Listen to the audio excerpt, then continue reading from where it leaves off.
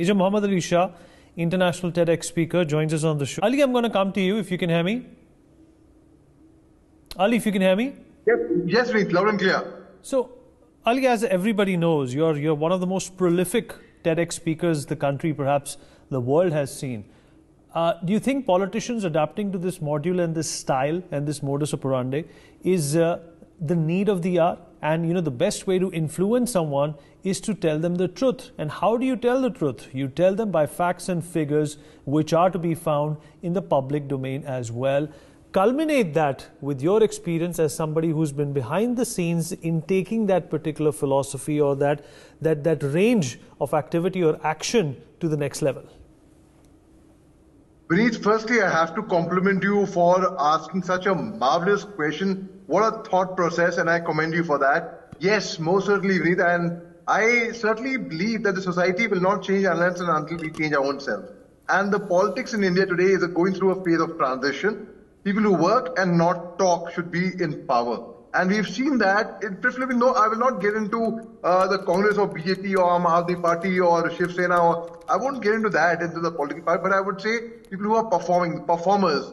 And I would say the youth performs. In fact, there are a lot of people who, like, for example, my uh, fellow panelist before me, he was talking, giving examples of Colonel Rathore, Colonel Rajendra Rathore. Of course, great leader, exemplary officer from the marksman unit of the army. General V.K. Singh, former army chief, Look at them. I mean, they entered politics. Earlier, we did not have, we, we only had General Khanduri at one time, who was the uh, chief minister of Uttarakhand.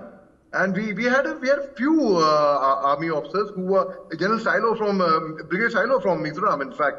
He was governor and also chief minister of Mizoram. So we had very few all leaders. Now they are getting into the corporate arena as well. There are so many politicians who I see who are going and giving talks, motivational talks to young leaders, to young students, and it's no more looked upon as badmashon ka profession because there was a time when we had heard the toppers of a batch will uh, become academics.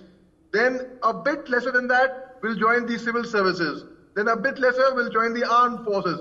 And a bit lesser will get this thing. And people who fail with nothing else better to do will become politicians and will rule over, will command over the others who were the toppers in their class.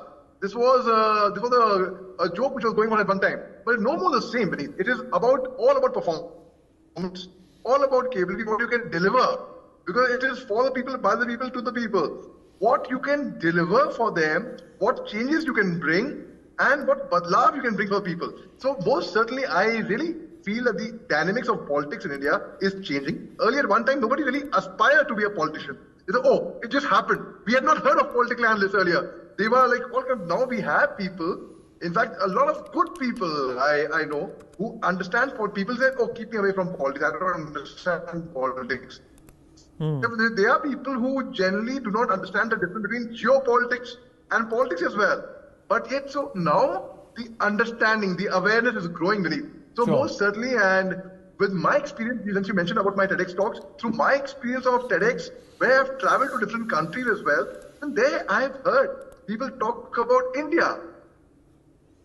Uh, right now, India is on a very, very, is, is it's growing in a very, very fast pace.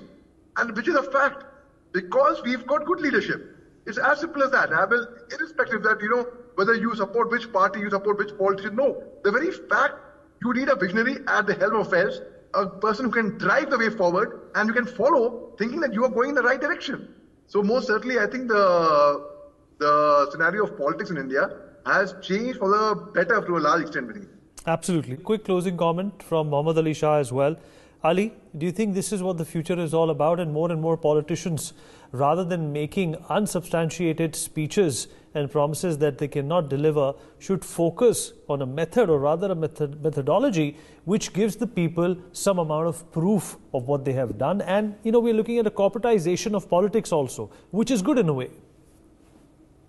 Right Vineet absolutely I totally agree with you and you know I feel बदकिस्मती से मैं ये बोलूँगा कि politics को एक धंधा ला रखा है कई लोगों ने जो एक फैमिली बिज़नेस हो गया है विदाउट टेकिंग एनी नेम्स और mentioning towards any particular political party no in general they are like okay okay it is no harm in in a son following his father's foot footsteps alright but when you have somebody who's incompetent on the hello affairs, i mean, he will sink not just the party the whole nation apart from that. So politics should be totally on merit. They should be good leaders.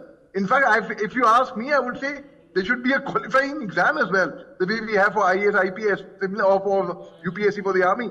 Similarly, and there should be retirement age. I, I feel so. So they, I feel they should be certain. You know, a MLA or an MP, even for one day service, gets a pension lifelong. That's what I'm told. Correct? Please correct me if I'm wrong. Whereas in the uh, defense forces, you have to serve for years, uh, 20 years for an officer, 17 years for a Jawan. And for paramilitary, I don't know they, I, I, I don't think they even get pension. So it is very, very, it is something, politics ko dhanda na banaye. Politics ko, I mean, it's a, you can go ahead and, as you mentioned about corporatization, it's perfectly fine. I mean, they are, we need leaders who can invoke people to work hard, who not just invoke passions and emotions and Understood. sentiments and play upon that. Understood. Yes, Ravi. Appreciate you joining us in this extremely important uh, and relevant conversation.